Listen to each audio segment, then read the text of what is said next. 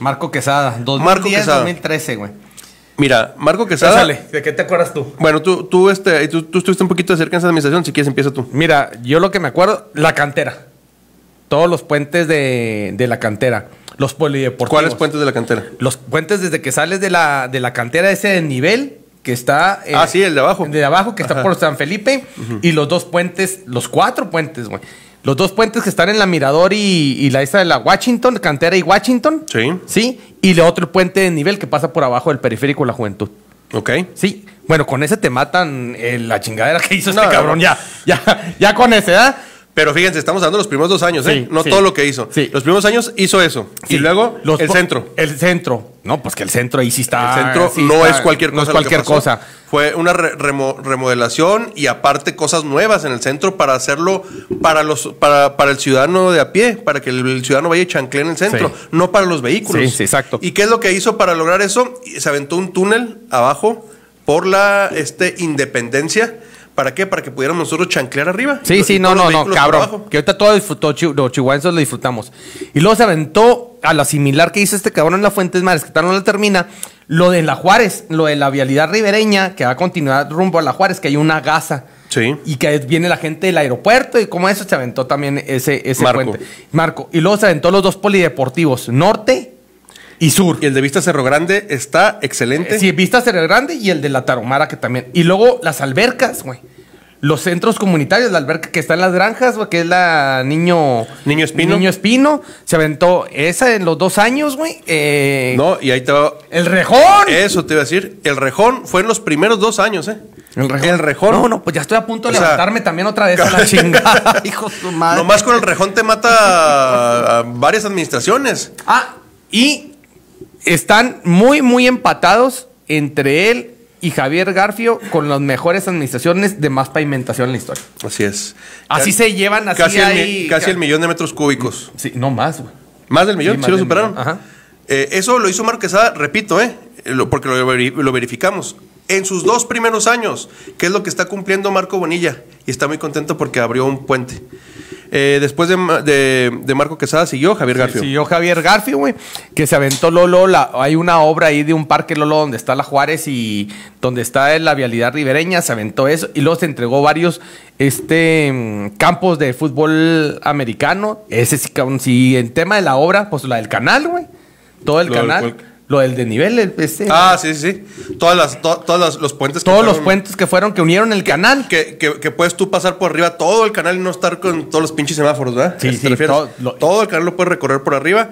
Este, el encino. Eh, sí, el encino también. No, no, no, pero. que, que- que él intentó, no sé si le- creo que no le alcanzó, pero él intentó hacer el parque juntando las tres presas, ¿verdad? Sí, el parque, la- sí, el metropolitano de las tres. Y como decías, este fue, eh, eh, creo que rompió el récord de pavimentación. De pavimentación. Superó el millón de metros cúbicos de pavimentación.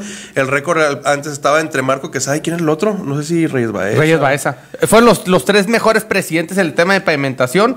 Reyes Baeza, Al- Marco Quesada y Javier Garfio. Y Javier Garfio. Y Javier Garfio. Entonces, bueno, pues este, acá el niño maravilla dice que él ha sido el que más obra ha hecho y en dos años con un presupuesto récord, con casi 10 mil millones para ejercer, lleva Una hora. Una hora entera. Oigan, y yo no me, yo, si lo permites, no sé si compartes este análisis.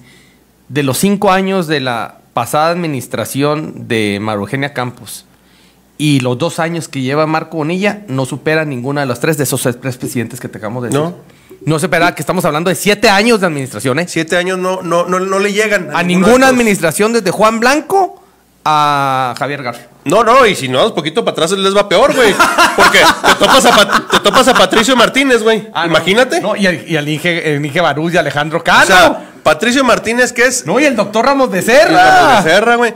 A ver, Patricio Martínez, eh, les caiga como les caiga el personaje. Yo creo que si a alguien le gusta seguir la política, no puede dejar no de reconocer hacer para atrás, que. Patricio Martínez fue el, eh, ha sido el hombre más transformador Formador, sí. en la historia moderna de Chihuahua. Y era su eslogan. Tanto como alcalde como gobernador. Así es. A ver, Patricio en año y medio, en menos de lo que tiene Bonilla, ya había desmadrado la colonia El Palomar, que era el foco de inseguridad más cabrón, para convertir en lo que hoy tenemos co- como, como Palomar, ya había empezado ju- junto con recurso de Francisco Barrio, ya había empezado lo que es el periférico de la juventud, que nomás eran de dos carriles, ¿te acuerdas? Sí, claro. De, de cada lado. Sí, claro. Ya empezó el periférico de la juventud. Este, obviamente, hasta le fue muy criticado porque llenó este, de estatuas la ciudad. Dice, no, no, pues si no nos costaron, las donaron, pero vamos a poniendo bonito Chihuahua mientras lo Las desarrollamos. jardineras de todo el canal, Las ¿te acuerdas? Que, jardineras. que bueno, que ahí le costó el pleito con Ramos de Serra, que después lo Sí. quitó, pero que todo el canal tenía que jardín. Algunos todavía quedan enfrente de la hacienda, algunas tipo como jardineras que las puso en esa época Patricio. Martínez. Sí, sí. Pero en cuanto a obra, Patricio, no se diga de presidente, no se diga este Ramos Becerra. Pues obviamente el Inge Barús y Reyes. No, no, no, no, no, no. No, no. Son una basura, cabrón. Son una basura, ¿eh? Sí, Fíjate, lo que sea cada quien, Chihuahua ha contado con buenos presidentes y también inclusive desde atrás, Torres Medina, Mario de la Torre, o sea, Sí. de esa época moderna para acá, para... Que, que repetimos, ¿verdad? Con todo respeto a la gente que nos sigue, que, que muchos odian o aborrecen la marca PRI, el logo PRI o los este, gobernantes pasados. A ver, pero como administradores, la neta, no le llega ni a los talones Mar- Marco Bonilla y, y Maru Campos juntos, sus administraciones municipales, a lo que hicieron sus antecesores. Sí, ahí hice un mensaje que muchos porras al PRI, no, no, pues eran los presidentes Ah, ¿eso estaban. Sí, ah, sí. mira, justamente cuando estaba haciendo Sí, la sí, pero eran los Ah, no, presidentes pues, que estaban, estamos haciendo Si simplemente quieren, un análisis. si quieren mencionamos a un, un presidente del PPS, güey.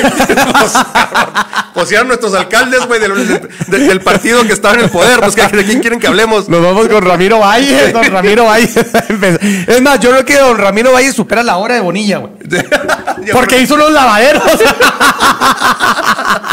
los lavaderos públicos y construyó tres canchas y la chinga.